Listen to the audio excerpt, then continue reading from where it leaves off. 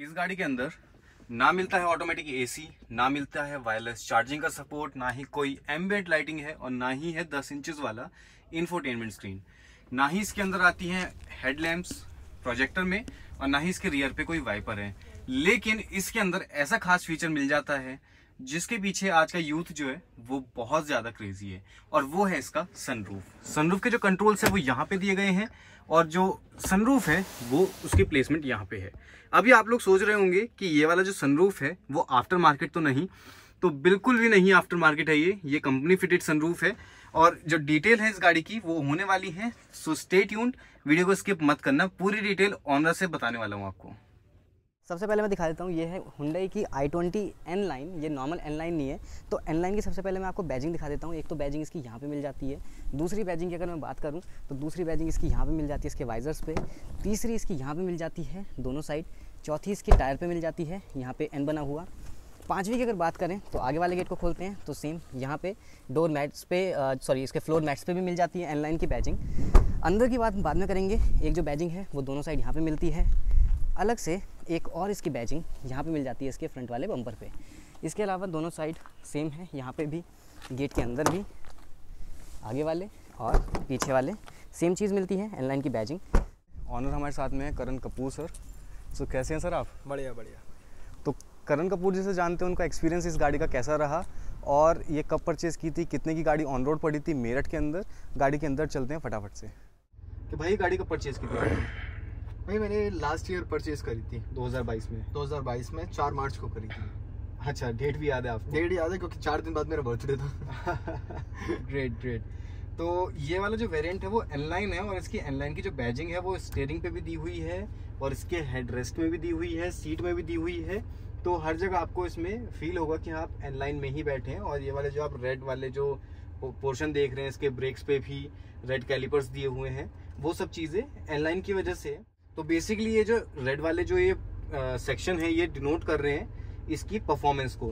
क्योंकि पोलो के जाने के बाद में सभी की एक रिक्वायरमेंट थी कि एक परफॉर्मेंस वाली जो हैचबैक होती है, वो मार्केट से जा चुकी है। लेकिन इस गाड़ी को चलाने के बाद में आपको कहीं से कहीं तक फील नहीं होगा कि परफॉर्मेंस हैचबैक से जा चुकी है।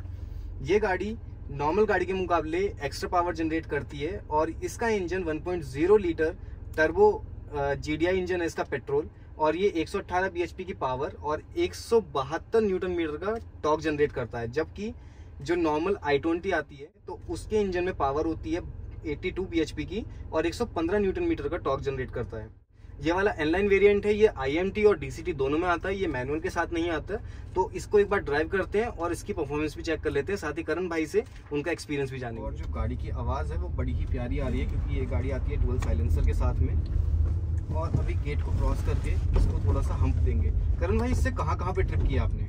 भाई मैं तो नैनीताल गया हुआ हूँ। दिल्ली तो बना नहीं गुड़गांव वगैरह तो ऐसी ही है कुछ कहने की इतनी घूमी तो बहुत ये गाड़ी और जो स्टेयरिंग रिस्पॉन्स है वो काफ़ी ज़्यादा प्यारा है जो लेदर रैप्ड है वो भी हाथ में काफ़ी ज़्यादा अच्छा फील कर रही है। अच्छा आपको एक और चीज़ बताऊँगा इस गाड़ी की हाँ कि क्या नाम है अगर नॉर्मल कोई गाड़ी होती है मेरे से बहुत लोग कहते हैं कि इस गाड़ी का साइलेंसर फटा हुआ है। अच्छा, अच्छा। उनको एक चीज़ और बताना चाहूँगा व्यूअर्स को आपके कि इस गाड़ी का साइलेंसर जो एग्जॉस्ट है वो पूरा डबल हम्म। साइलेंसर है। अगर वो नॉर्मल खड़ी रहेगी तो आपको वो स्पोर्ट्स वाली आवाज़ देगी।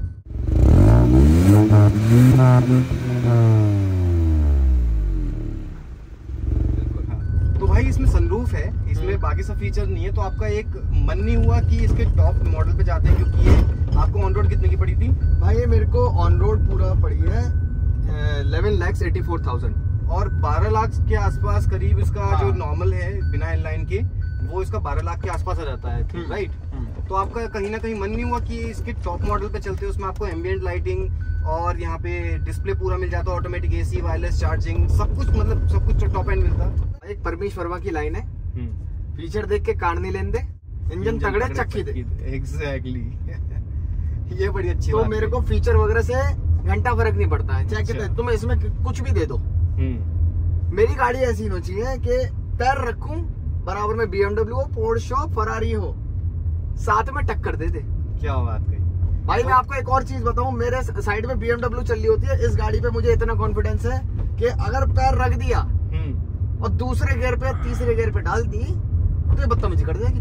अच्छा। ये बदतमीजी कर जाएगी फिर आपके हाथ में नहीं है। फिर तो आप बस मतलब पीछे आपको होके बैठ जाओ बस। है हाँ। जो पावर है वो पूरी पूरी मिल रही है जितनी आपको चाहिए थी। बिल्कुल। तो ये गाड़ी अभी आई है इसमें क्लच नहीं आता। और इसमें जो लेफ़्ट वाला पैर है उसमें काफ़ी ज़्यादा आराम है। तो करण भाई आपने मैनुअल ड्राइव किया कभी? भाई मैनुअल तो मैनुअल मेरी पिछली थी। ग्रैंड आइटन थी मेरे पे। अच्छा इससे पहले आप ग्रैंड आइटन हाँ डीजल चलाता था मैं। तो वो क्यों सेल की? वो मेरे को अब ये था ना कि अब थोड़ा अपग्रेड होना चाहिए। अच्छा है ना? तो अपग्रेड करने के बाद में आपने हैचबैक में ही क्यों अपग्रेड किया? हैचबैक का एक अलग ही रुतबा है वो चीज़ में कि मतलब आप रोक ही नहीं सकते उस गाड़ी को। तो मतलब आपको ऐसी गाड़ी चाहिए थी जो सड़क पे चले और रुके ना। हाँ। जरा सी सी- जगह से भी आराम से निकल जाए। बिल्कुल बिल्कुल। तो अभी ये थोड़ा सा रास्ता खाली है और एक बार इसको थोड़ा सा हम्प दे के देखता हूँ। चलो आप एक, इसका एक और चीज़ बताता हूँ। आपने इसका दूसरे गियर में रखना। ठीक है? गियर दूसरे गियर में आप भगाना और देखना कैसे बदतमीजी करेगी। ये देखिए। और ये पचास साठ क्रॉस और ये 80 क्रॉस हो चुकी है पावर तो है पावर तो बहुत ज़बरदस्त है इस गाड़ी के अंदर नो डाउट अच्छा इसके अंदर ब्रेकिंग सिस्टम कैसा दिया गया? है ब्रेकिंग सिस्टम बहुत क्लासी है इस चीज़। इसमें आई थिंक दोनों साइड आगे पीछे ड्रम आते हैं या फिर नहीं नहीं डिस्क नहीं, आते हैं? दोनों डिस्क हैं। दोनों वो हैं। आ, आपके जो बेस मॉडल वगैरह होते हैं जो एस्ट्रा वगैरह इन सब में रहता हाँ, है हाँ। तो वो उसमें आपको ड्रम मिलेंगे। अच्छा। बट इसमें दोनों आगे पीछे दोनों डिस्क है। इसका 16 इंची के टायर है। सोलह इंच के और इसके हाँ। आई थिंक अलॉयज भी जो है वो डिफरेंट है नॉर्मल वो बड़े हैं उससे। हाँ। आपके जो नॉर्मल मॉडल्स हैं आई ट्वेंटी के उनसे बड़े हैं। वो ब्लेड ब्लेड ब्लेड टाइप दे देते हैं। Exactly. वो कर्व थोड़ा जा रहा है, है अगर लेकिन आप जब इसके अलॉय देखोगे ना तो आपको वैसे लगेगा कि यार क्या चलती भी लग रही है गाड़ी यार।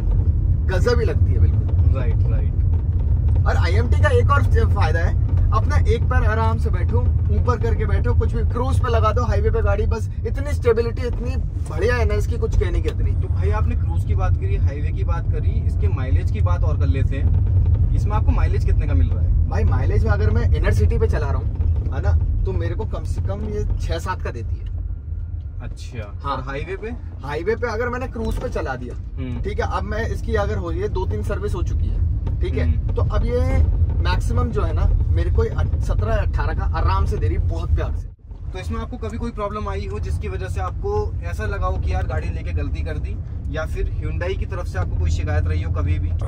मैं आपको एक चीज़ बताऊँ मैं इस गा, मैं गाड़ी को लेके इतना खुश हूँ कुछ कहने के लिए। मेरे कहते हैं ना कि अगर मेरे को कोई कहे कि नहीं यार मैं तेरे को इस गाड़ी के बीस लाख दे रहा हूँ। अच्छा। मैं उसको कहूँगा कि मैं तुझे पच्चीस दे रहा हूँ तू मेरे को दूसरी दे।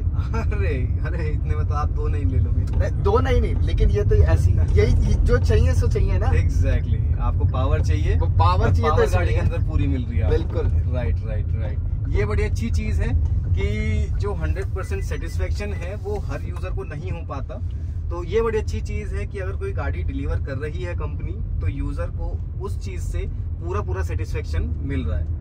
जब आपने ये गाड़ी परचेज की, उस टाइम पे डीजल में अवेलेबल थी ऑल ये गाड़ी अभी 2023 में डीजल में डिसकंटिन्यू हो चुकी है, सिर्फ़ पेट्रोल में बची हुई है तो आपका मन नहीं हुआ उस टाइम पे, क्योंकि आप इससे पहले एक डीजल गाड़ी ही चला रहे थे, और डीजल की जो पावर है वो अमेजिंग होती है। तो आपको मन नहीं हुआ कि आप डीजल पे ही जाएँ दोबारा से?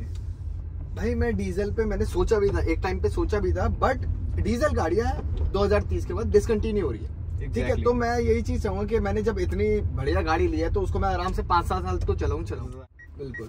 तो वही चीज़ है और ऊपर से क्या जब मैंने पेट्रोल पे स्विच करी तो उसमें क्या रहा कि अब मेरे को माइलेज का बड़ा वो चीज़ हो गया था मैं बहुत डरने लग गया कि इतना कम माइलेज कैसे दे रही है क्योंकि मेरी डीजल बहुत अच्छी देती थी उस टाइम पे। उसमें आपको 20 से ऊपर का माइलेज मिल रहा होगा 18 के आसपास आराम सिटी। में भी मिल रहा होगा। जी आराम से बिल्कुल। और इसमें आप सिटी में बता रहे हैं कि 6 7 का तो वो तो बहुत ज़्यादा कम हो जाता है। बिल्कुल। एक्चुअली मेरे ये पर्सनली पापा की चॉइस थी। अच्छा। हाँ कि अब पेट्रोल ही वो चीज़ का है। और फिर अब ले ली तो फिर अब पेट्रोल का क्या सोचना? भाई का मैं आपको बता देता हूँ कि भाई मुंबई से हैं। एक्चुअली वो हैं मेरठ से ही लेकिन मुंबई में एक्टिंग वगैरह करते हैं और इन्फ्लुएंसर हैं सोशल मीडिया पे। इनका जो इंस्टाग्राम प्रोफ़ाइल है वो भी आपके स्क्रीन पे शो हो रही है। आप फॉलो कर सकते हैं द ड्राइव हंट को भी फॉलो कर सकते हैं इंस्टाग्राम पे। और जो सनरूफ वगैरह है वो भाई को इसीलिए लेना था क्योंकि बहुत से जगह क्या होता है कि शूट्स वगैरह होते हैं भाई के तो वो सनरूफ से निकल के थोड़ा शो ऑफ़ वगैरह शोशेबाजी ये सब होती है। ये मेरे को लैम्बो का फील देता exactly. है एग्जैक्टली अगर यहाँ पे हम लोग इसका अगर लैम्बो लिखवा दें यहाँ पे लैम्बोगिनी तो ये कहीं ना कहीं वो हमें फील देगा बैठ तो अगर मैं जैसे स्टोरी भी बनाऊँगा तो आराम से अरे लैम्बो में बैठा है लड़का। मतलब ग्यारह लाख रुपए में लैम्बो के ग्यारह बात है? जी। और दूसरा है ये सारी रेड लाइन की बैजिंग रेड लाइन की बैजिंग एग्जैक्टली exactly. वो जो रेड लाइन की बैजिंग है वो मेरे को भी बड़ी अच्छी लगी। जो इस सीट में रेड लाइन आ रखी हैं दोनों साइड हैं पीछे वाली सीट में भी है। और ये रेड जो पूरा कनेक्टिंग है ये बहुत ही प्यारा लुक दे रही है। साथ ही इसके स्टेयरिंग पे पूरा रेड वाला जो स्टिचिंग है और यहाँ पे एसी वेंट्स पे ये पूरा रेड ये चीज़ मेरे को बड़ी खास लगी। साथ ही इसका जो गियर नोब है, उस पर भी ये एन की बैजिंग है और रेड लाइन लगी हुई है, क्योंकि ये हमेशा आपको याद दिलाएगी कि आप एक स्पोर्ट्स कार में बैठे हैं नॉर्मल कार में बिल्कुल भी नहीं। कितने स्पीकर्स आते हैं, कितने ट्विटर आते हैं इसके अंदर? भाई इसमें आगे दो है।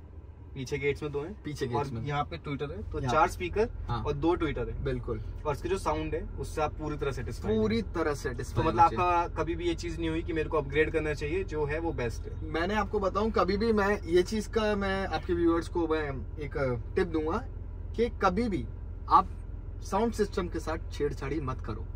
अगर आप बेस ट्यूब लगवाओगे तो आपके ये जो ग्लव बॉक्स वगैरह है या आगे का पैनल है वो आपका हिलने लग जाएगा उस चीज़ में। वो डैशबोर्ड में प्रॉब्लम आती है उस जी। तो मैं आज तक जो है कभी भी मैंने अपनी गाड़ी में छेड़छाड़ करी ही नहीं है। ना मैंने एम्बियंट लगवाई है ना मैंने कुछ आगे मॉडिफिकेशन करवा रखी है। जैसी मिली है वैसी अभी रखी हुई है एक साल पहले से। दूसरी चीज़ ये भी होती है कि जब आप कोई इलेक्ट्रिक पार्ट में चेंजेस करवाते हैं तो कंपनी वारंटी आपकी खत्म कर देती है। आपसे अगर पूछूँ कि आप ये गाड़ी कितने रिकमेंड करते हैं यूज़र्स को हमारे व्यूअर्स को कि वो आई ट्वेंटी नॉर्मल छोड़ के सिर्फ़ परफॉर्मेंस के लिए आई ट्वेंटी एल लाइन पर जाए तो आप क्या कहेंगे इस चीज़ में?